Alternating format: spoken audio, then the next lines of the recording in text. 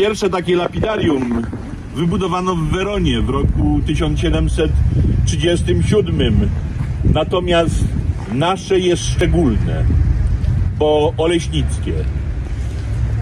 Dlatego chciałem bardzo gorąco na dzisiejszej uroczystości przywitać konsula generalnego Niemiec z Wrocławia. Bardzo mi miło, że przyjął zaproszenie.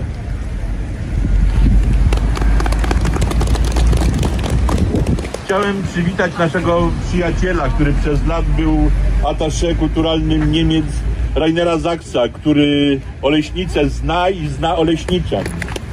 Dziękujemy bardzo. Gorąco witam księży, którzy przybyli na zaproszenie, poczynając od pastora Milora, kościoła ewangelickiego Augsburskiego, poprzez księdza Zdzisława Paducha, z, y, Kościół katolicki, y, Jerzy Szczur, Kościół prawosławny, czy Jan Kudlik, również reprezentujący kolejną katolicką oleśnicką parafię. Bardzo się cieszę, że przyjęli zaproszenie na to spotkanie i za chwilę uczestniczyli będziemy w modlitwie ekumenicznej.